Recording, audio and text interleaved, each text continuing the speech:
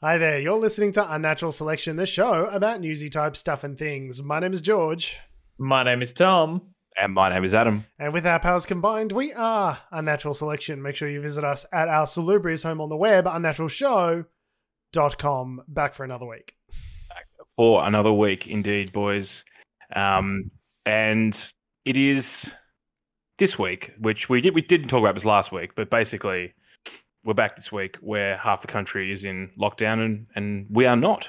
Uh, strangely enough, it's almost like I saw a um a good Simpsons GIF where it's uh, Uh-huh. it's Marge yelling out, um, and in in the uh, Simpsons episode, she yells, "Bart, no!" and Bart's like, "Mum, I'm right here," and she goes, "Sorry, force of habit." Lisa, no, um, and but it was Victoria, no. Mum, I'm right here. Sorry, force of habit. New South Wales, no.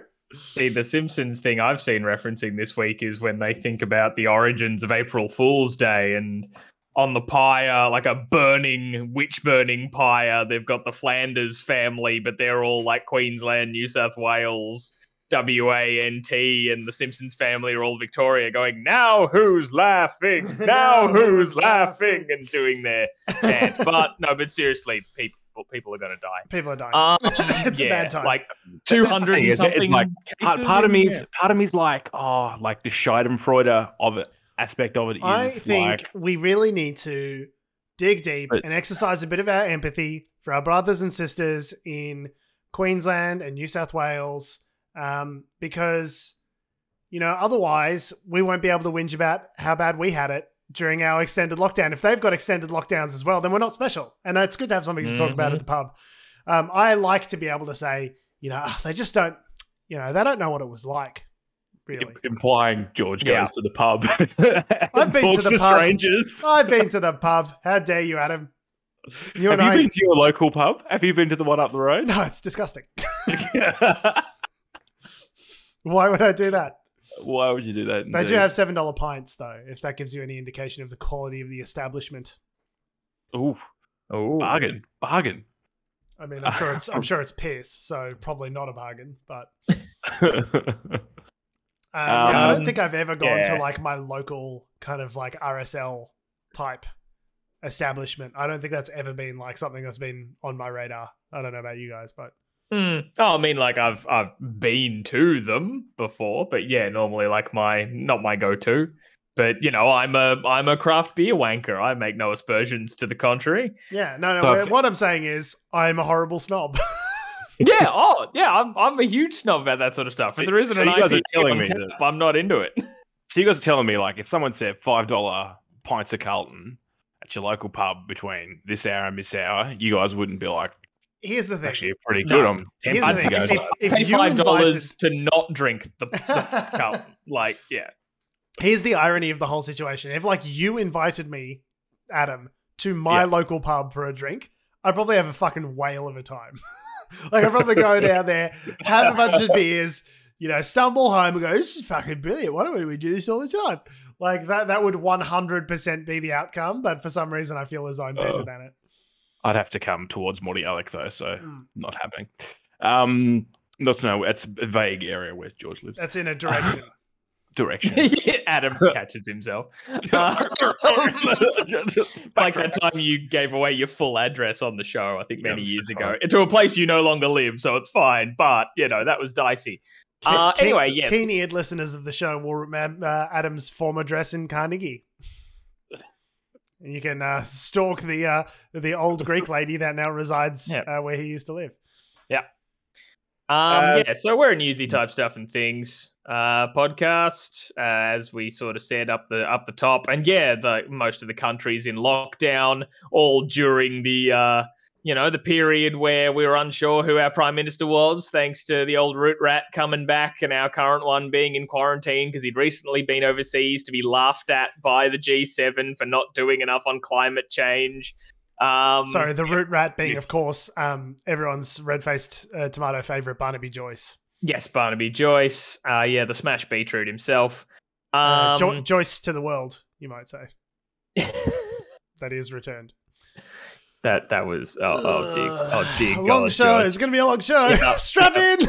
Yeah, sixty more minutes of this. Oh, boy. Um, Yes, but then the uh, it's it's all been developing. Uh, so, so much has happened in this past week. Adam, Adam and I were hanging out earlier this afternoon. Sorry, George. Um, and we were talking about how guys. some crazy bullshit has really happened this week, and so much has happened in the past couple of weeks that we Mm. haven't even been able to touch on because of how cooked the current situation in Mm. Australia has been with the pandemic response and stuff like that. I mean, Sorry, Tom. To Uh, say that there's been a pandemic response would insinuate that there has been some sort of governmental response to the pandemic, and I don't think that's a fair Whoa. characterization of what's happened thus far. I mean, things like you know, JobKeeper happened. That's a response. They all they've done, all this federal government done, all Yes. they've done is make Money Machine go brr. That's the only good thing that they've done throughout this pandemic is just make it rain in various areas. They've signed some checks and they've kept moving. In terms of the actual fucking things that they've rolled out, I don't know that there's any successful part of what what this administration has done to successfully try and, you know, help with quarantine facilities, aged care, um, you know, vaccine rollout, all the things that have been the federal government's responsibility have just been like thoroughly fucking well done, overcooked. Well, o- on that note, where would you like to start today? Would you like to go? Give you some options. Should give, we give should we start with the six hundred and sixty million dollar corruption scandal? We could do that, or or we could potentially go to the um the attempt at having a four point plan to to formulate some sort of national plan. It's a plan We for a plan. It's a plan for a plan. We Yeah. could also go to the fact that the government's contradicting its own um, uh, you Medical know, health uh, advice? Medical health advice. Um, Let's start Um, there. Okay, so after the national cabinet meeting that happened uh, last week, um, old ScoMo PM Dash Lodge comes out and um, announces, um, quite off the cuff, that love a good announceable.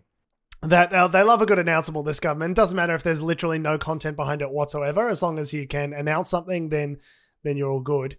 Um, so he announces that anyone has now got the ability to go and provided that they are made aware of, you know, pr- provided that they're provided with all the disclosures and and you know have a, a, a consult with their GP and assess the risk. Anyone is now able to go and get the AstraZeneca vaccine. To which the um, uh, fringe organization, the Australian Medical Association, said, "Raggy, huh? Yeah. What, what? Are you talking about, buddy?" To which all yeah, and all the premiers that were also in the national cabinet meeting were like, "That's not what we talked about. That's we did not. That's Yeah. not a thing that we discussed in this meeting." The where so basically there was stuff about an indemnity situation saying like okay gps that administer the vaccine will now be held harmless in the case of an, an adverse event one of their patients if something happens um, and that was all they discussed during this meeting and then Screamer's like oh yeah just fucking go and get the astrazeneca eh and Which which is not which does is- not comport with any of the medical advice or anything anyone is recommending the thing is, that's according to Dr. Norman Swan, uh, which is the ABC's specialist. Yes. that's always been the case. that's case. always been the case but yes The only but- difference is that they've now got the indemnity thing in place. if you're advertising it, if you are saying to people, hey, this is a thing you can do, go and get the AstraZeneca, we've got a bunch of it sitting on the shelf, you know, hundreds of thousands of doses that none of the boomers want because they're being selfish pricks, um, and it's going to go off if it just sits there. Um, like, fucking have at it, I guess. Like, that's not medical advice. That, that's but if you're positioning it in that way of like hey anyone can go and get it you are encouraging young people to go and get the vaccine which the numbers of people that are under 40 that are now going to get the AstraZeneca vaccine in light of this announcement has like increased by tenfold like there's been a massive massive increase in the number of Say young there was like three or four thousand people that took up the offer or something. and, like and. I'm seriously thinking Yeah. about taking it up myself. I think the risks of you know a blood clot are pretty minimal, um, and I just want to fucking get it done. like I just want to get, I just want this to be over. Can I make? Can Well- we get this over now, please? Yeah, the more the more of us vaccinated, the better.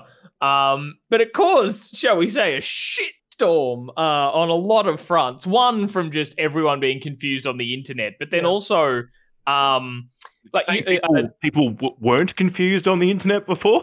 that too. Um, but Three GP fucking times, three times since this dog shit fake vaccine rollout has fucking started. Three times they've changed the fucking advice. Meanwhile, ATAGI, the Australian Technical Advisory Group on Immunisation, who would might want to be consulted when making these sorts of announcements, says that Pfizer is still the preferred vaccine for under 60s due to the higher risk of blood clots, which we mentioned previously. So, Yeah, like, but the thing the thing I oh, was Oh, yeah. seeing everywhere was that GPs and so because obviously yeah it's not a it's not a case of rocking up to a mass vaccination center like it has No. to you know you have to have had a con- consultation with your GP and all that sort of stuff if you're under 60 and want to get the AstraZeneca vaccine but people were then all right and they called their GP to book an appointment and Mm. receptionists on uh you know on the front line said what what do Huh? you mean you can get the AstraZeneca Yeah. because they're not told anything. Like they weren't get, like the, the information wasn't And no thrown out there. and no, No Mr. Mr. Scomo, Mr. all. Scomo, no home.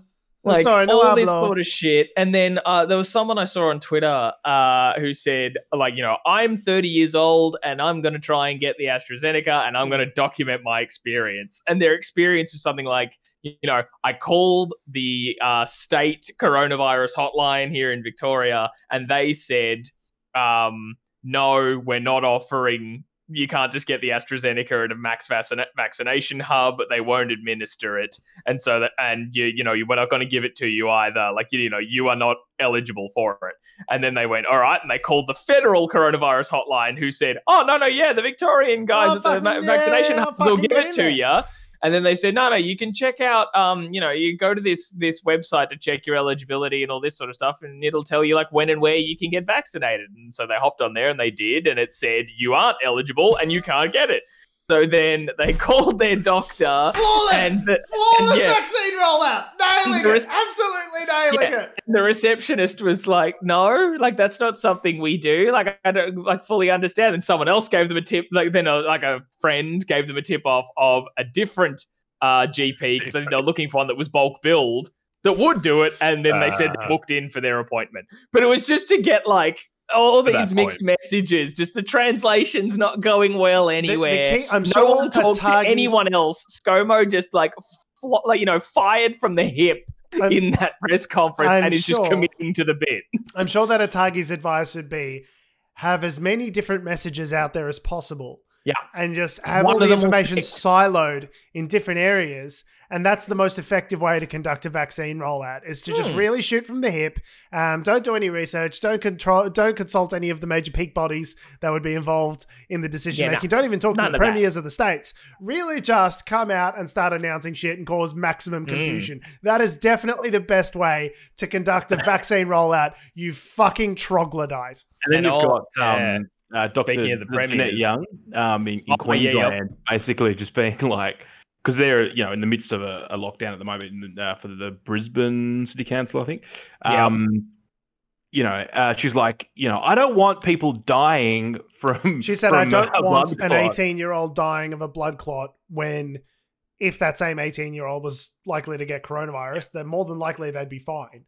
Like, and that's kicked off the whole thing. She's since apologized for those comments, but it's say, kind of like, when I saw her messaging, I was like, I know you're kind of saying like, hey, our, like you're giving the advice of I don't like, you know, following up the uh, I forget the name of the peak body. Sorry, there that you mentioned there, George, but um, the immunization. Uh, people who sort of said, "Hey, this isn't our advice either. Like the medical advice doesn't Mm. corroborate this." Yeah, for like, I get that she was criticizing that, but then for her just to throw out like, you know, an anti-vaxxer's wet dream of, "I Mm. don't want the first death Yes. from a vaccine to come to someone who's 18 because it's definitely gonna kill you." I'm like, no, that's not the messaging we want either. I You're think- I fucking think this. it's just the whole thing has just been an absolute shit show. Like Yeah. from from start to finish. And, and Adam's like, no, no, no. Surely they couldn't be like pulling it out of their fucking dirty assholes. Surely it must be informed by the medical advice. So I go, well, how, how, how do you like me now, Adam? How does this sound like informed by the medical advice to you, mate? I'd love to see how you I mean, fucking turn this around with your optimistic brain and turn it around and make it sound like there's somehow are competent individuals driving this fucking train. They've been relatively consistent up until this point. Consistently shit. advice- Consistently the terrible. advice has changed several times. How dare you? and they've had to update it to the medical advice. And now they've got to the point where they're just I don't know whether that was ScoMo like just shooting from the hip or whether like someone in the liberal marketing team's gone, what's our comms for today? What's on the talking points? Okay, so we, it's like, a, like it's literally the writers of Utopia, which is an Australian political Mm. satire show, must be sitting there just like writing down notes, just being like, "Yep, okay." It is and- beyond and we'll- satire. um, I nearly died yeah. during that just section. I hope you're both proud. That's exactly when I decided to take a sip of water. And then after George's rant, hearing Adam say, they've been consistent up to this point, I was like, George is about to explode. And then I couldn't hold myself. Like I was Literally trying to about not to- choke on a mouthful of water. About to burst into flames over here. Meanwhile, you've got you know. Meanwhile, you've got outbreaks. You know, in I think it was is it New South Wales where you've got people at hospitals not vaccinated. You've Yeah. got um, you know, and they're passing it round. You know, you've got I just- airline I'm staff so not vaccinated. The, the whole thing Um, about a vaccine of any kind of mass health rollout is you need to keep it idiot proof. Right, you need to keep the rules so dead dumb basic that any, every moron, the dumbest person you know, is a member of this country that also needs to figure this out and get vaccinated. So when a 30 year old goes to the panel on Q&A, there's some pollies on there, um, medical experts and says, hey, I'm 31, should I just go and get the AstraZeneca vaccine? And there isn't a clear fucking answer one way or another. That's a real fucking problem. Like the Yeah. one thing you need is clarity of purpose and clear, simple messaging for the dumbest amongst us to be able to follow. If us, if us three who are into this, you know, well read and up to date and on top of this sort of shit, if we don't know whether we should go and get vaccinated, I fucking guarantee goddamn you that no one else out. knows either. I filled out the online form and it was like, Am I eligible? And it was like, No. But then it's like, you can get an email reminder as to when you are eligible. And I'm yet to receive that email reminder. But as to whether or not they're updating the algorithm on the back end to send No. out those email reminders, The- who fucking knows? The uh, what's that Kafka line? The forms must be filled out in triplicate, but there are no forms available. That is literally the fucking world that we're living in with this with this Oh. coronavirus vaccine rollout. Um, but anyway, look, guys, don't worry about it though, because there's a four point plan. There's a Oh, four yes.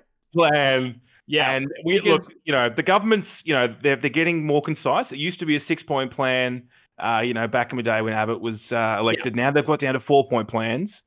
It's Um, a four point plan that nobody knows. Um, Yep. I, I think that before you get into the description of just how bonkers and inept this four four step plan to get us out of the pandemic Mm. is, it came after uh, what was it, three days of Yeah. just incommun like no communications Yeah. from Scott Morrison. I think I remember Mr. seeing, like, um, gets a huge hard on for announceables. Yes. Had nothing to talk about for three days. And then they're like, don't worry, we got a plan. I- 16 months in, everybody, we've got a plan. I um I saw I think it was a Betoota Advocate headline. It's like like mouthiest cunts in the room haven't been heard from in seventy two hours. Like Yeah. this is like the, the the loudest cunts ever haven't been heard from in three days. Like let's send out the SES kind of thing. Like they've gone missing. Like, It's just think, um, amazing. the four step plan. Marielle from marketing's decided now. I don't know what, what was the name I used last week. I'm gonna go with Marielle Carol. this week. Ma- Meryl, Carol, wasn't it? Meryl, Mabel? Meryl, Meryl, Yeah, I thought it was Meryl Meryl. from marketing. Meryl Yeah, from marketing. Meryl from marketing. Uh, obviously, has decided. Uh, look, we're just gonna. Sometimes the best thing you can do is do nothing, Hmm. and we're just gonna take everyone offline, take it all offline, and then we'll make it announceable when Mm. we're ready.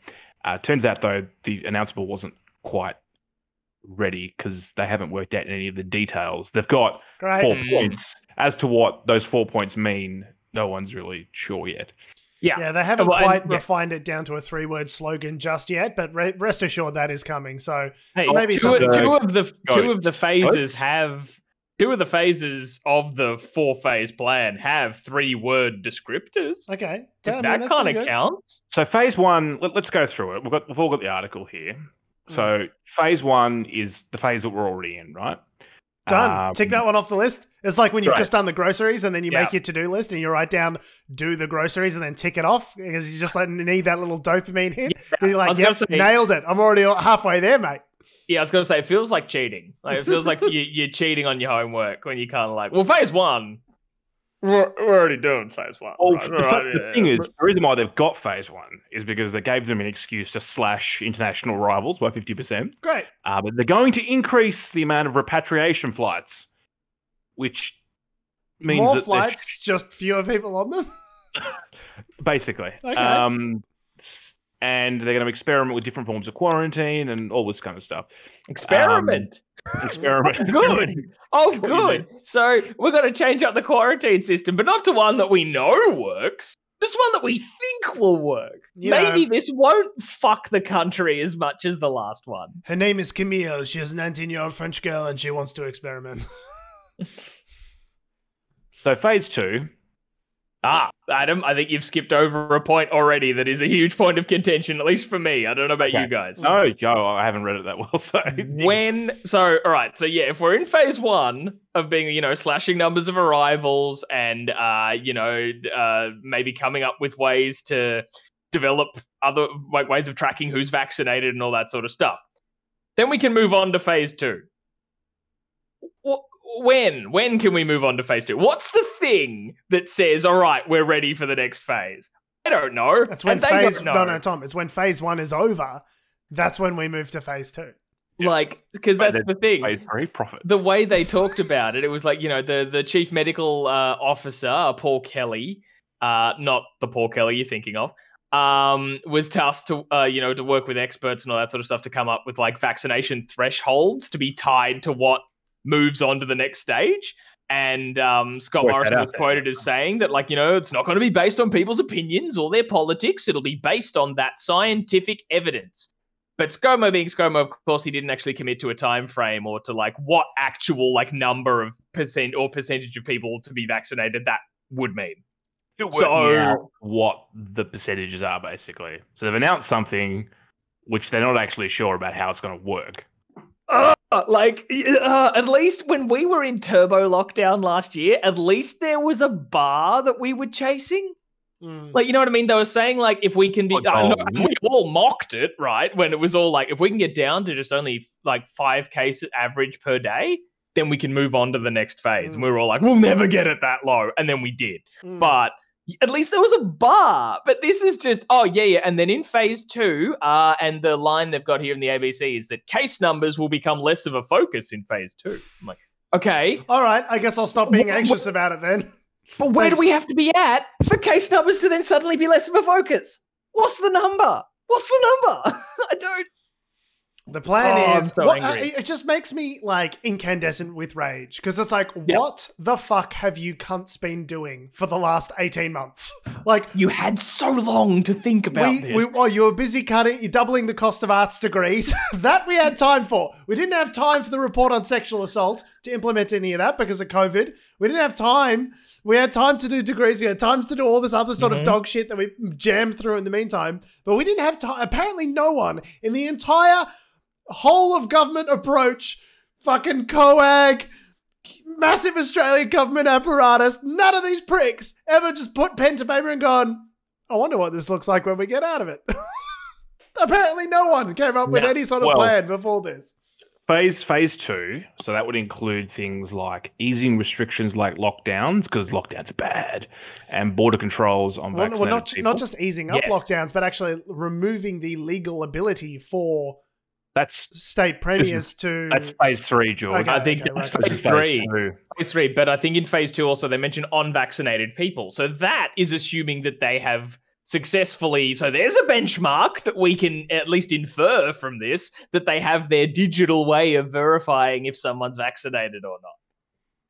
Some sort of raising COVID raising passport. inbound passenger numbers again. So capped entry for Mhm. student economic visa holders, new quarantine arrangements for vaccinated travellers, um, and yeah, raising passenger caps. So Oh, and implementing and preparing a vaccine booster program. Because remember, you're not vaccinated permanently, apparently. After you've gone through all the clusterfucks that we've been talking about here to get your vaccination injection, you'll need a booster later on, which they'll be in charge of as well, and it's going to go great. um, Yeah, and well, with all the variants, presumably that are going to keep coming out, this is just going to be something we're just going to have to Hmm. just keep consistently dealing Yeah. with is getting new new vaccines and updated vaccines, Yeah. and it's going to be yearly fully shot kind of Yeah, thing. great. Kind of what I think what's the Great. aim is. And then at some point uh, it- during that phase two, apparently it'll be appropriate to go to phase three. What that point is, who the fuck knows? But phase three, we get our first three word catchphrase, Here we George. Here we go. Phase three no more lockdowns. Mm. Short, sharp, to the point. We've listened Lockdowns will be a we've thing to the past. and we've acted on Sky News' recommendations. hmm We've listened to And Alan then- Joyce, to Alan Jones, Alan Jones, and, and Alan Joyce, I suppose, the Qantas CEO.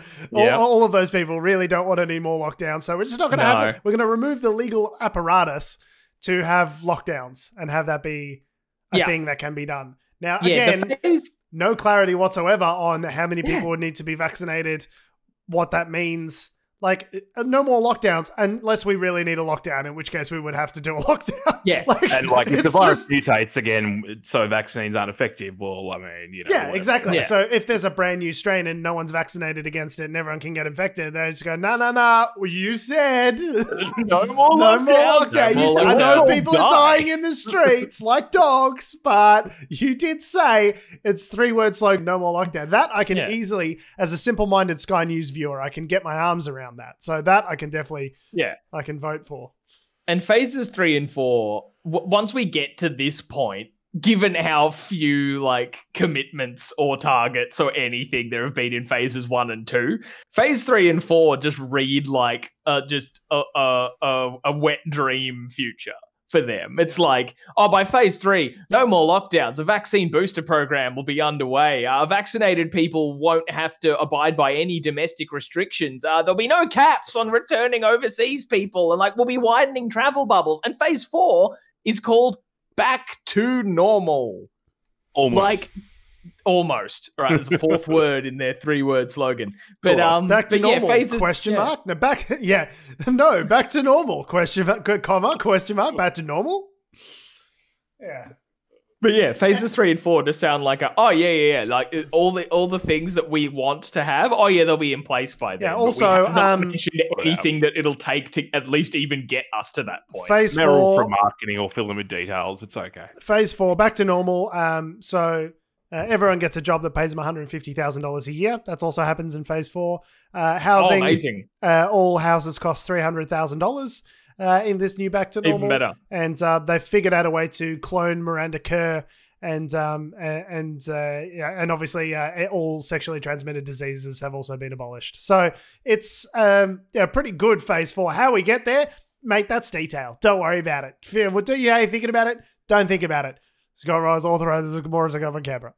When it goes back to normal as well, the unemployment rate also goes back up to five percent because uh, That's Yeah, by design, apparently. by design, yeah, it's it's uh, uh, on that. fantastic analysis in uh, the ABC today that I read, where I was like, oh, oh, this actually really frames how it's by design that a Hmm. lot of people are in poverty. Oh, for I, I remember reasons. We that could fix it, but that would that would make inflation. that awkward, so- economist. that- No, but it wouldn't. It was great. That's that what economist- about. that economist that I quoted from the conversation a couple of weeks ago basically made that made that assessment was that we have a permanent underclass of people who we like Hmm. to keep poor from a public policy perspective because it reduces the risk of inflation for the rest of us. And Yeah. it keeps wages nice and low, keeps everyone in the big business community very happy. And um Yeah. and that's it. And like it- that's there is a reason that we have as much poverty as we have, as because they are comfortable with an inflation number that is lower than it otherwise might be if we had full employment and had wage Hmm. And- growth. And as we saw last year with uh, you know the increases of coronavirus supplements and all that sort of Mm. stuff, they could just lift all those people out of poverty whenever they want. Yeah, here's a really good way to not make people poor anymore. Give them money. It's a really easy way to make sure that there are no more poor people. Turns out childhood poverty halved in the United States as a result of the coronavirus supplements. Like, to, that, that is just a solvable. Oh, that's just like Money Machine go, brrr, and we solved some fucking horrendous, per, what we otherwise thought of as permanent, unsolvable problems. We just fixed with money. I was like, oh, Yeah. okay. Didn't realize And we then- could just do that. And then if you factored into that as well, I don't know, taxing billionaires and things, there's so many more things you can just fix. Like remember, Jeff Bezos has decided to not end world hunger today, and he's chosen to do that every day for a He is long going time. into space, so you know, money well spent.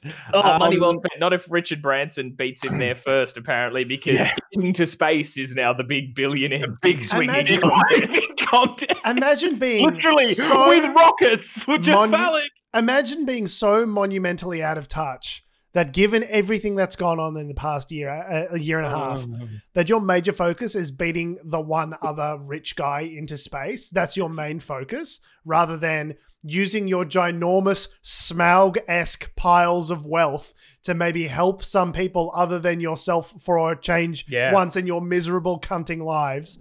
Okay, no, no, no. I want to make sure I get to space nine days before Jeff because I got the biggest dick. And especially like uh, uh, in the context of when your billions comes from things like retail. Mm. Um, don't you want these people to be alive and spending money Honestly, Tom, to be giving honestly, you Tom, your wealth? they don't give a fuck. They don't give a fuck. The, yeah, the at this point. billionaires at this point literally do not care if you live or die. Yeah, like You're- Amazon could go out of business and Bezos it would wouldn't matter fine. because Yeah. he's still a Yeah. fucking squillionaire. The world, Yeah. it's just the hierarchy has gotten so rigid that they are at risk of toppling themselves over and taking all of us with them, and they still don't care because they'll still be king of the ashes. Like it's Yeah. the dumbest. It's the most nihilistic fucking. Anyway, sorry, we're getting sidetracked. Anyway, back to normal, and uh, everything's great. Yeah, everything will be great by phase four. Great. misallocation of funds. Yeah, phase that look, the detail will come. Step Meryl from marketing. Step three, Meryl profit. from marketing, she'll she'll get the she'll fill in the blanks a bit, and you know there'll be a press release. They'll sort it out, George. Don't worry. Um, Honestly, I'm just sure- want to like. Can we nominate some of our politicians that we can shoot out into space instead? Because there's a few of them that I like. I certainly wouldn't mind shooting Barnaby Oh. Joyce into the fucking sun. Like, Oh no! Call call the moon Hawaii, and ScoMo will go willingly. Actually, speaking quickly of Barnaby, we'll just throw this one in there. Uh, Barnaby Joyce, um, uh, he's been a bit of a wrecking ball over the last uh, few weeks, but uh, turns out the genius that is uh, the political mastermind of Mr. Joyce uh, doesn't know how to wear a mask. And uh, police have confirmed that Mr. Barnaby Joyce was fined at a petrol station. He was fined $200 on uh, Monday for not wearing a mask. Uh, but he was apologetic and cooperated with police. So, you know, don't worry about it. Just the fact that this, 10 out of 10 to the person who called that in. Because I heard it was a Yeah, call to the. Crime Stoppers. mm, So, like, dobbed. yeah, it's like the jet, it's like a 1 800 kind of number uh, here in Australia where, you know, you can just, it's like report, just reporting crimes, but not going straight through to like the emergency triple zero number. Um, yeah, someone saw Barnaby Joyce not wearing a mask out in public and they called that in. And oh, I'd buy that guy a pint. what a legend. several pints, $5 pints at his local pub is what he Yeah. deserved. Um, now, speaking of misallocation of funds and perhaps spending things not sorry, very just wisely, just on that Barnaby Joyce story, the allegations of sexual uh, harassment. Th- those obviously aren't haven't been Oh, no, no. investigated. That's definitely not something that the, No, the no, legal and, apparatus um, could look into at all. But we'll uh, find him, find yeah. him $200. the mask No, stuff the- nailed him. Fucking Nailed got him, him. guys. Bing, bing, straight bing. away. Yeah, no, the fines, uh, the fines for those allegations will be much lower than two hundred dollars. In that Mm. they won't happen uh, because everything's terrible and the system doesn't work. Um. Anyway, misappropriation of funds. Adam, you were saying? Hmm. Been a report. There's been sev- uh, two reports actually uh, from this organisation in Australia called the Auditor General, who audits things. Uh, and uh, there was this thing. I don't know if you guys remember it. Like before the whole COVID thing kicked off, before Mm. the bushfires, before everything Like- went like so, real like- bad. 10, 20 years ago. Yeah, yeah. Yeah. There was like something called sports rorts. Oh, Mm. the sports Um, rorts. where they rorted uh, sporting money to they, they pork barrel. They pork barrel a bunch of government money into marginal seats uh, for sport grants and local community grants. Um, and all the grants that were given out were basically ones that the gov- the department the department uh, who goes through and assesses all these things didn't actually recommend. Well, Uh, not not all. Like some of them were basically they the department presented its list of all Yeah. these different you know things that the recommendations as to where the dollars would be best spent, and then the LNP more more or less ignored those recommendations and kind of placed the money where they wanted to. Now some worthy programs still got funded just in different amounts and things like that, but it was obviously Hmm. the money was directed for political rather than efficacious purposes. Let's put it that way. So it was a big scandal at the time. Everyone was really mad about it. And that was around a hundred million dollars that went into this scheme. And Um, sidebar, just quickly, Bridget McKenzie, minister at the time, Yep. had to resign. She listened, she's learned, she resigned. Uh, she's listened, she's learned, she's joined the pile of female bodies that the LNP has, has been racking up in Uh, recent years. due to old Barnaby's efforts uh, the other day, uh, turns out when you have a new leader, you've got to have a new cabinet. Mm. Uh, so there's a new national cabinet, uh, and Bridget when you McKenzie. get a, when you get a new cabinet, you got to get a new dresser. When you get a new You do. dresser, you got to get a new bed. You know, so Hmm. yeah, you got to throw out the you know drapes, put some new ones up. it's called the Um, Diderot effect. True story. Bridget McKenzie, uh, incidentally, back in national cabinet now. Oh. She is. Oh, she- oh, so what she did wasn't corrupt. Now, I guess it's fine. No, no. Now we've, we've listened. She's listened. She's learned. We've forgiven her. It's all good. She's now she now has five portfolios: great. national recovery and resilience, Sometimes emergency management, regionalization, whatever the fuck that means, regional communication, Mm. and regional education. sometimes it really is possible to have it all, and by all I mean all the government money that you've corruptly handled. Um, yes, but uh, the report that came out from the Auditor General uh, turns out there's been more funds that have been misspent. Yeah, so it started off as a report that um, uh, that's understood that 389 million dollars had been allocated to car park construction. Uh, it turns out it's close to 660 million. Whoops, off by a factor of 300 million. One, gonna move it across. That's fine.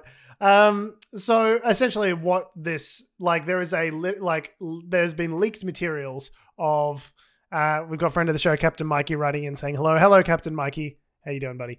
Um, the uh, so the funds were allocated as a essentially what amounts to a political slush fund, like, and there's records that have been leaked saying like, hey, rather than bothering to do like a tender process where we assess the placement of these car parks next to train stations based on their merit and utility and how much dollar the taxpayer is likely to get out of it and all that sort of stuff. Let's have a color coded Excel spreadsheet where we just literally target marginal electorates with no bid or tender process and then just allocate the funds directly. Saves the whole process of appearing to look as though we were doing it based on merit. You just save time and then just skip to the part where we allocate the money purely for political purposes. Um, and just you know avoid having to do all of the work of government stuff that otherwise would be required so it's good in that um you know it avoids the even just the pretense of government Hmm. But like, I think, I think you know, uh, this is funny. Simon Birmingham came out today because this this policy was announced prior to the last election. yeah weirdly enough mean, all of these so- materials lined up and were announced the day before they called the federal election that's so fucking weird that's so weird you guys that's so weird the day before what a coincidence Birmingham has come out and basically said he's he's a government minister and he's basically said, well, it doesn't actually matter because the Australian people uh, made their choice. They looked at all the facts. I can't- and and they chose the liberal Uh, government. That is the most Like- facile fucking argument. Simon Birmingham, you should be fucking ashamed of yourself. What a facile fucking argument against corruption that is. They elected us based on the corrupt shit we did, so obviously, therefore, we had a mandate to do corrupt bullshit? What circular fucking logic is that? Oh, I can't. The amount of things that I want to say that I cannot say on a publicly broadcasted show is just like. I'm just incandescent with rage when I heard that. Like, oh, but the, but the public voted a shit, so we've got a mandate to do fucking dumb, corrupt dog shit secretly.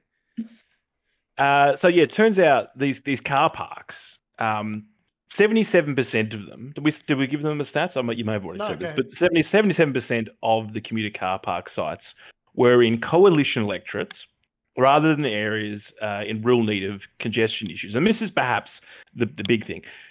None of the 47 project sites selected for funding commitment were proposed by the department.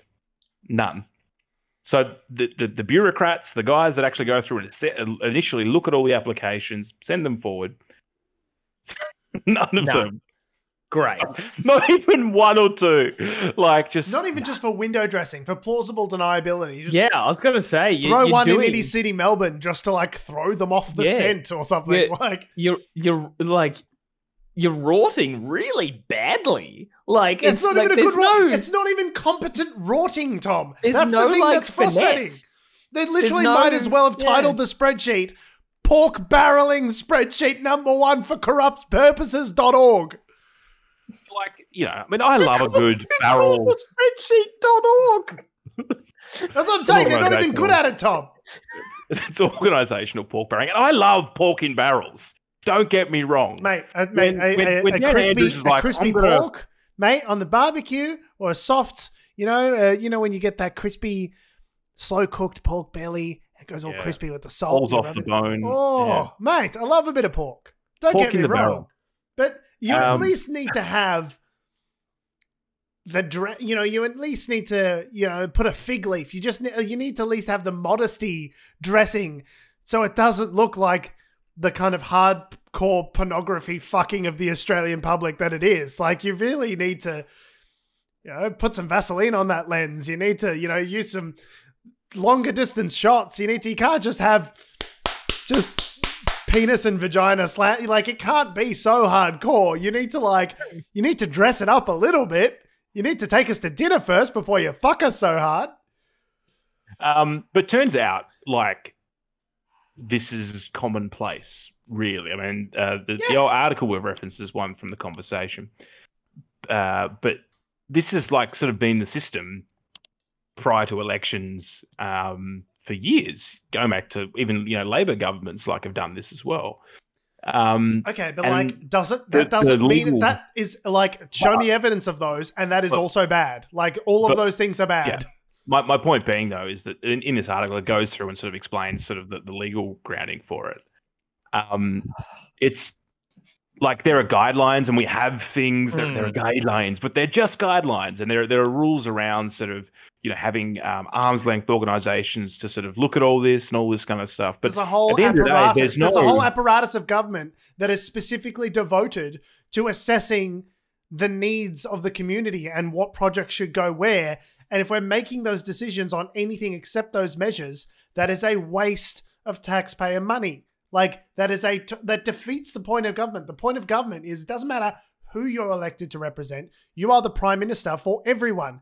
And the money that you spend should be to everyone's benefit, not just your political benefit. That uh, government, you are undermining the whole purpose of government if you behave this way. It's funny you mention that, George, because the uh, the Auditor General, that old that old chestnut, uh, released another report this week, uh, which talked about was the intergenerational report, which is basically a, the Auditor General's like attempt at sort of waxing lyrical about sort of like getting on there, sort of. And just sort of looking out into the distance and going, I think in their crystal ball, and going, like, I think this is what the future may hold. And God knows whether any of those reports will ever be anywhere near correct. But it did say in one of the reports that basically Australia is heading in the direction at the moment because of the lack of migration and other stuff. We're going to be basically older, poorer, and worse off over the next sort of 50 to 60 years. Um, Great. and the point that they tried to make in that report was that you should stop spending money on useless shit. If you're going to be putting Australia into like significant debt, if you're going to be like just borrowing out the eyeballs, then at least spend the money on things that boost productivity. Oh, and useful stuff. Yeah. yeah, don't yeah, don't so spend it like on fucking needless car parks in electorates that don't need them. For example, yeah, it's like if you're gonna be rorting everybody, at least can the product of that rorting be useful? yes. And the other thing that this conversation article that you posted, George, I found interesting was that there's no real legal ramification. If a That's minister, the problem. The problem if- with if the all of this is it's totally legal. There, there's Yeah. no problem with it. That's the problem. Yeah. Is that If- this if was the a normal process, I guess. decides to use their, and we discussed this when Peter Dutton made a bunch of, um, you know, Changes decisions. to it was like to CCTV and Yeah, it was like, a security program where basically a bunch security of different councils applied for grants. Again, the department went through and said like, "Hey, this is the Here's our order and ha- This is our recommendation. Here's where and how much." And Peter Dutton went "Uh-da-da-da-da," and cross out. Oh, that's a Labor district. You can suck on some dicks. Love Peter. And then like, you know, Hmm. marginal districts or liberal districts, you guys can get all the money. Like it is it's just like a clear, transparent, obvious corruption, which is in the totally legal. guidelines, it does say, Yeah. yeah, uh, that the minister basically has discretion, yeah, has final say. Has Yeah. final say. It's there, there are words around that, but uh, in broad sense, that's what it says. And, and for every department, basically, and they're allowed to do that, and it's fine. It's so funny Um, though, so in- because like when you apply, like if you're an arts organization that applies for a grant, there are all these fucking hoops you need to jump through. And you know, if you're an organization that gets government money in any way, you need to be so specific about here it goes and here's what it does, and you know, here's how we're going to use the money. And then afterwards, you got to say, here's how we use this money, and did it tick off all of these fucking KPIs? And apparently, none of that matters because it just really matters whether you're a liberal seat or not. That's the only thing that actually fucking matters in all of this. Like, it's so infuriating that, that there's this double standard if you're on the receiving end of money versus if you're on the distributing end of money, there's just like no controls whatsoever. You can do whatever the fuck you want. And that's just the those are the Commonwealth grant rules. Like, if you don't like it, you know, should have been elected, dickhead. We they gave us a mandate to fuck you over, you morons. Uh, Tom, Tom, I do want to ask you a question though. What do Oh you yeah, think sure. the likelihood is of any government, whether that be Labor, Liberal, the Greens through some fucking weird turn, Assuming there's some designated survivor type situation where Yeah. everyone else in government Everyone dies and the only people left are the Greens. what what are the the odds of a government actually legislating against this effectively corruption? Less than zero, I reckon. Absolutely less than zero. Like, I mean, we can be as optimistic and as grandstanding as we want about democracy and the good of people and like you know you're the prime minister of australia not the prime minister of just your Yes. voters but like but of course it's it's it's so rare to have anyone in politics who actually like thinks like that. Of course it's a job. It's their job and it's what they get like their salary for. So they're like well i, I want to i don't want to be fired or unemployed thanks to not winning an election. So of course they'll just like boost up the people who are going to vote them in. And like there's no real way around that i think you know the people uh, who are attracted to being in these sorts of positions are obviously those sorts of people, like who want the power and the the, the authority. I just we just I wish that after so so many scandals that we at least had the the democratic mechanism of voting them out. But I don't think that's going to happen. I think they'll get a fourth term. Like I really like given oh yeah, well even all after everything after the graft, the corruption, yeah, the manifest like Olympian levels of incompetence. Like they're just Hmm. going to get back in. And What Well, yeah, of the, course, the meme I sent like- you the other day? I was it was that like Anthony Albanese would have to shoot into a crowd. Yes. And- Yeah, to get yeah, it so I think that was an article from the Shovel where it's like Anthony Albanese shoots into a crowded presser in order to get some fucking attention. Like yeah. that's what it would But like, but that's the thing. It's the the I, I don't know. I I'm generalizing as hell right now, but I mean, yes, there's people in like liberal electorates and all that sort of stuff who are furious over the vaccine rollout or all that sort of stuff, being like, "Fucking hell, Scotty, you fucked this up." Not or they enough, were really obviously. mad. Not enough. But they were really mad about the fires situation, and But then mad like about the know, fires, mad about the all that fact that there was stuff. a rapist in his fucking cabinet, allegedly. Like, Yeah, they're all really mad about that not sort a scandal-free administration. There are plenty of things with which to latch onto as a Hmm. reason to vote against this bag no, of no, they're, they're all they're all really mad about that, and they really hate that sort of stuff. But you know what they hate more? Labour. The Labour Party. Like, and that's and that's Yeah. the thing. Or it's Yeah. like, you know what they hate more? The Greens. Hmm. Like that's the thing. Yeah. They'll be like, this is all absolute horseshit, but it's not as bad as the Labour Party. And you're like, why? It's like, well, they're all they're all dogs, aren't they? like they'll just have something stupid like that to say. Which, to be fair though, I mean, the difference between the Labour Party and the Liberal Party these days is just one's actually in the position to be doing all the bullshit. I, I am under no aspersions that Labour wouldn't be doing this exact same bullshit. I think That's I, the area I like think they'd be. China and God knows what Yeah. else. I don't think Oh, there'd yeah, be. like I don't think there'd be less. scandals. I don't think there'd be less corruption, but I do think the people at the bottom would get more of the crumbs. Does that make sense? Yeah, mate. Yeah, Like, I'd say maybe more, more of than- the crumbs. rather than a situation about- where we go Hmm. into lockdown and the government says like oh you're in a coronavirus you know hotspot and Yeah. um oh i hope you got some savings or you'll fucking die go suck eggs cunts should have been rich Um, Interesting at least story, the, actually. At least the Labor Party would have said something like, "Here's five hundred dollar dues." Like, Yeah, but I suppose though we'd say to what we said to the Liberal Party, "Hey, do something about climate change. We're all going to die," and they're like, "Nah." And we'd be like, "Hey, Labor Party, do something about climate change. We're all going to die." They're also like, "Nah." Mm. So, Yeah. yeah, story actually. I spoke to my hairdresser the other day, and because there is there is a supplement, like there's a five hundred dollar supplement a week, but you have to be in lockdown y- for longer than a week, Yeah. basic, or two you have weeks. to be has to be. longer than a Oh, week. You yeah. need to have less than ten thousand dollars in savings. You need to be standing on your left foot. You need to have one testicle. Yeah. Like, and only every second Tuesday. yeah, And what was interesting Yeah. was that um, uh, he was saying that basically um, there was a deadline for it as well. So, like, you had to apply for that grant or whatever within a certain cutoff period. Um, so, but that ended like last week. We only came out of lockdown like two weeks ago. So they basically shut the door closed straight after Yeah. it finished. Meanwhile, people are still trying to work out like their taxes and God knows what else. Like, anyway, it's yeah, yeah. It's why. Well, I think we talked about this at the time. It was like that was the Morrison government's like being dragged, kicking and screaming into Mm. actually like something. Oh no, doing something that may possibly be seen as kind of socialist um, for the better of people, but they had to make it so hard to get to, and also like Mm. uh, oh no, we cut it off, we turn off that tap straight the fucking way as soon as we say so, because none of you freeloaders get to live. I don't want any of you thinking you're not going to starve to death for more than a second longer than you need to. Okay. Yeah, I don't want you Ah, getting too yeah, safe yeah. and secure. Go pick some fruit, you lazy pricks. yeah, it's uh, it's such a fucking joke.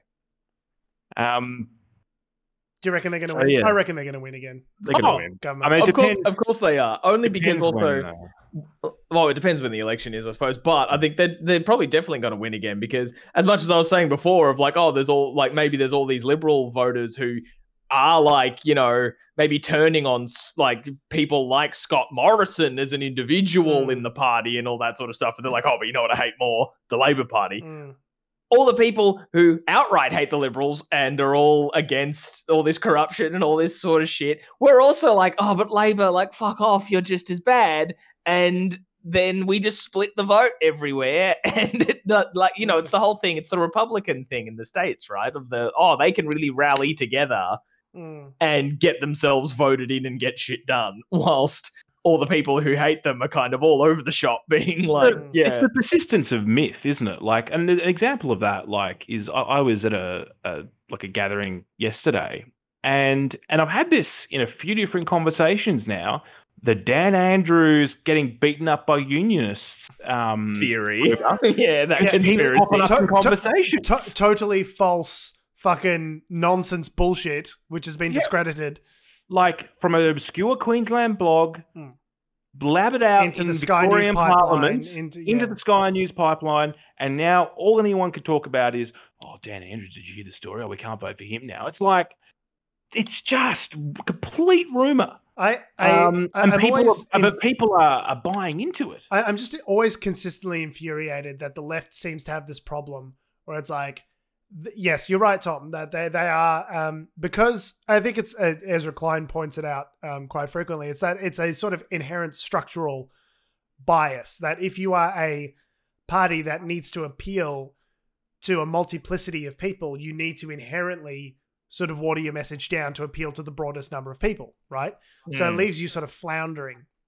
Whereas if you're a sort of borderline right wing extremist party, and the whole point is to galvanize a small but very ardent number of base supporters to go out and you know do the dirty work for you, um, that's much easier to do because you can have really clear messaging around it, right? Like you can be really doesn't matter if you alienate a bunch of people when you do that because your base will turn out and vote you in.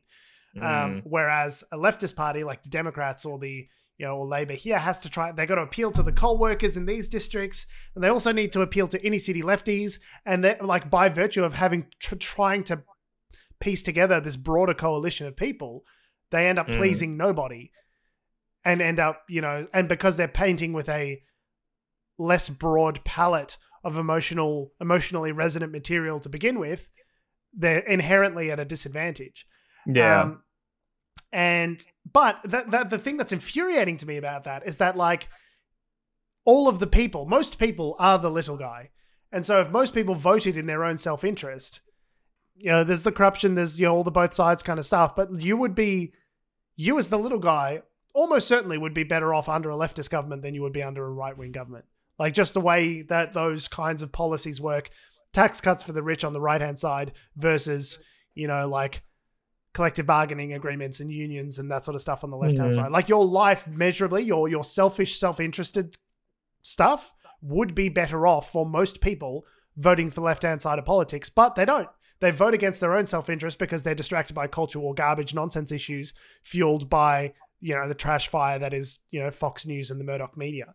Like it's a it's a tactic which has been used very very effectively against the left wing for 30 40 Mhm. years and i don't see it getting any better um and it just makes me like yeah incandescent with rage that people will people who are poor will vote for the right wing party that's cutting corporate taxes and you know, yeah, ta- you know doesn't want to tax the rich plan, and- George. Mm. Got a four point plan. But- We're going to be sweet. But that's but that's why because they want to stop the boats or they want to stop the fucking Chinese or they want to stop the, you know what I mean it's this dumb culture war sort of you know jangly mobile that they distract you with in order to divide people and pull them away from voting in their own self-interest. Most people Mm. are not the top 1% by definition. Like it it it's infuriating to me and I don't I don't know what we can do to change it. It just seems like we're just going to be in a minority led uh, like minority government forever. Like it, it re- Oh. I don't see there there being any pathway to Labor ever regaining the kind of populist like Kevin 07 type, you know, run of popularity you- you that they have. a- It seems like impossible from this vantage point. You need a you need a um a lightning rod, and without a lightning rod, it's probably not going to happen. You happen. need a charismatic Um, leader, and I'm sorry, but Anthony Albanese, old pudgy DJ Albo, is not the fucking guy. People are not inspired by DJ Albo. They just Yeah, not. yeah. DJ No, Albo just no. fronting up a press conference with a dad joke pun isn't cutting it. Yeah, and I not. love dad joke puns. The one and daggy- not cutting it. This uh, election season, 2021, Daggy Dad versus another Daggy Dad. like, can Oh, you tell like the he- difference? Like he just said something the other day where I was like, "Ugh!" It was like he said something like, "Oh, they, they haven't been." Yeah, I was after like Barnaby Joyce got back in and all that sort of stuff, and saying like, "Oh, rather than focusing here on the vaccine rollout, they've been too busy rolling each other." I'm like, "Good, Nailed him. good Albo, you nailed it." We like got 10 him. out of Ladies 10, and gentlemen, I don't we know. got him. Maybe a solid stance on climate change would be nice. Asshole. Well, gentlemen, just just to finish us off uh, today, um, if you want proof that people don't listen, uh, you only have to look to New South Wales, uh, which has been sort of in various parts of it have been in lockdown over the last sort of week or two, Hmm. and uh, a bunch of people haven't been listening to those stay-at-home orders. Uh, they've been out in the community, jumping around Mm. uh, including two people. Two nude sunbathers were fined thousand dollars for breaching the COVID nineteen public health orders. Men, if I'm not Like mistaken. thousand dollars each. Yep. Uh, after being, and this is the best part, two nude sunbathers. They were being, they were startled by a deer Mm. After getting lost. Oh, they don't. That's sorry, they got startled by the deer. The deer then startled lost. them while sunbathing, and they ran. Then They became ran into the lost, and the SES had to rescue them. in And their national park. names were Scott Morrison and Barnaby Joyce. That's weird. Um, Crazy. No, Just that- like the politicians. so That's not true. George made that up. Uh, authorized by the Commonwealth Government. Camera. Oh, go, go. Yeah, but I've got a, Extra not a few things to try and work out here. So, sunbaking. So, one, you're sort of going, they're disobeying all the, the lockdown stuff. They've gone to a national park when they shouldn't have been there and all that kind of stuff. Yeah. But it's the middle of winter. So, sunbathing nude? Question mark. Second thing, Mm, Question mark. Yep. startled by a deer. How does a deer startle you? And I mean, if You I was naked. naked on a beach Why and I turned around, into Yeah. the bush naked, like that's a bad. Like, what? What did you think? Of, like, I've got I so many questions. Hey, Adam, if Adam, I was Adam. lying down somewhere naked and then a deer turned up, I'd be pretty startled. I mean, I'd be like, "Whoa, it's a deer!" I Caused might not run naked into the bush. Yeah. here's here's here's here's the factor that they didn't tell you about, Adam. A fistful of pingers. Oh, right. Yeah, yeah. Someone clearly dropped a shitload of acid before the story and didn't want to tell the national press about it.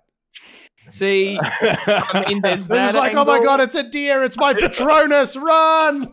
I think I think the other story kind of going here, which is like uh, because the there were, there were two men, the people who were rescued, uh, a man aged thirty and another aged forty nine, Nice, just out for a naked sunbathing trip bro. as you Hey, do. nice. I mean, I don't know. Just, You're saying that there was some No, romantic. I'm just no- being no no shame. no shame, guys. Like just just be honest with us. You do oh, you, oh, as in they You- were you were- sunbathing. They were. Yeah. Well, if, well, you, if, you, I mean, if great. you're out there, like, I mean, you're breaching the COVID orders and that's illegal and all those sorts of things. But no, if you're out there just having an old, you know, the old rough and tumble, that, that's fine. It's Pride oh, Month, bush, guys. bush shag, as Yeah. it were. Don't be ashamed. It's, yeah. it's Pride Month. You know, you Yeah. do you. Exactly. Well, it's not anymore. Would you say that? It Do you was think, then. like, Do you think like, like can you imagine like when the rescuers showed up? Do you reckon they had like 20 minutes where they were just like, or maybe an hour or two, depending how long they were out there for, like where they were just like, how do we, how, do we, We're going to get our story straight. what are we, what were we doing? Mushrooms. What, do- what do we? T- what We do we doing a lot them of we were doing? mushrooms. Um, but Um, look, it, they're, they're safe and well, so that's good. But also, um, I think as uh, Commissioner Fuller uh, from New South Wales said, it's difficult to legislate against idiots. Yes. Got yes. Yes. That is that is true. Nailed it. Um, and there was also another aspect of that story which I only just now remembered, and I'm Is it- trying to. Isn't legislating it. against idiots the job of the New South Wales police? Isn't that like 80% of what they do? No, no, no. They've got to go and um, use specific uh, anti-terror units to pull. Um, you Oh, know, YouTubers uh, out of their homes? Yeah, yeah, Yeah. yeah. That, that's more what they're into. Gotcha. Um, yeah, but so another interesting part of this story uh, is only semi-related because rather than it being to do with the uh, the two uh, alleged naked sunbathers who got uh, startled by deers, They were definitely Um, naked, Tom. That part is not One alleged. of them was. I think they found one of them naked. Is part of the, is an interesting part of the story. The man in his thirties, the thirty-year-old, was naked, but the other guy was wearing clothes. Not That means found in got the bush. And then got dressed and then ran into the bush. I'm very confused. Yeah, I was gonna say like uh, one of them's not very good at sunbathing, but I haven't quite decided which one. um, but uh, on the same, I believe this was on the same day. um, uh, that uh, the New South Wales Police Commissioner was giving the press conference about uh, these sunbathers and said the "you can't legislate against idiots" uh, speech. Then an individual turned up uh, who wanted to uh, serve the New South Wales Police Commissioner with some documents. Um, he approached the police commissioner, Mick Fuller, and asked him if he had received his cease and desist notice. And the commissioner said, Don't you come near me. And the man started espouting that I am the prime creator of this earth as people dragged him away. So, someone who had a very interesting uh, beef with the New South Wales Premier do you turned up reckon he well. knew those two, What a day! the two naked sunbathing Oh, guys that were doing acid? Did you Sorry, the so third South- guy that escaped? Or Potentially, and sorry, New South Wales Police Commissioner, not the Premier, as I said. Sorry, well, they, they didn't come up to Gladys and said, "I'm the prime creator of this earth. Did you get my cease and desist letter?" What? Okay, but what's the what's the commissioner doing? Oh God, I uh, That, well, the, that needs to be ceased and desisted. I don't know. Like the commissioner was just at the podium giving a press conference. And yeah, this man was trying to hand him a cease and desist letter. I was like, "Oh man, I want to read this note. Like, like I You want think- a copy the of I- it." commissioner um, knew who he was. I, It the, seemed like it. the living soul, Mm. Malcolm Yeah. Roberts. Malcolm Roberts. It was Malcolm Roberts. The man, the man who approached him, uh, looked like uh, long, shaggy hair, big, bushy beard. I mean, Malcolm Roberts has changed. We haven't seen him in a minute. It could be him. That's true. It could be Amazing him. it's not in the news cycle. Like he was like every week for about a year. The media was He was definitely like- obsessed with him because he was like thoroughly banana pants. But like he also had the crazy eyes that to go with it as well. He had the very Those bulgy piercing blue eyes, eye eyes. poppy eyes, Yeah. which which definitely made for good um good pictures on uh, very clickable articles. Still in Parliament, I believe. He's I still a believe so. Yeah. Oh, he's still Um, still insane, but um But like no one. he hasn't said him. anything Like, monetizable lately. I guess. yeah. Hmm. Yeah, yeah. So he's voting on things.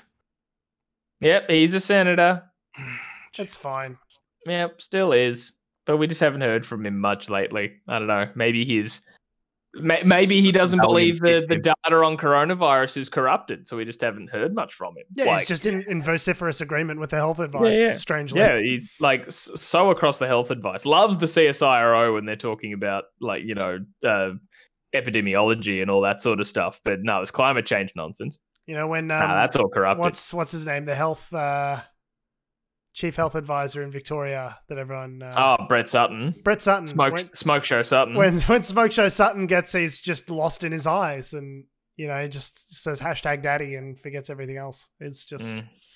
He certainly is a handsome man. Would Would you like to go sunbathing with him? Anyway, on that note, we have been, we are, and we always will be Unnatural Selection. Make sure you visit us at our salubrious home on the web, unnaturalshow.com. Make sure you follow us on all the bullshit social medias that have, do, or ever will exist at Unnatural Show. That's Facebook, Instagram, Twitter, YouTube, and motherfucking TikTok at Unnatural Show.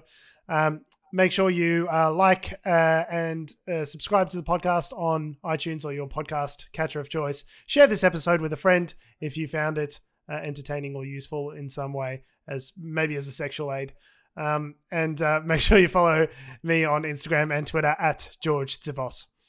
You can follow me on Twitter at Tom D Heath. You can follow me on Instagram at AC Direen. You can follow us all down to the beach at Otford, where we'll be having our uh, our regular Sunday afternoon sunbathing session uh, live on Twitch uh, in a hot tub. So in a hot tub. there you go. Thanks for Yep. listening, guys. Uh, love your faces. We shall see you next week. We go to the pub for five dollar pints after the naked sunbathing session in the hot tub. Absolutely not. No.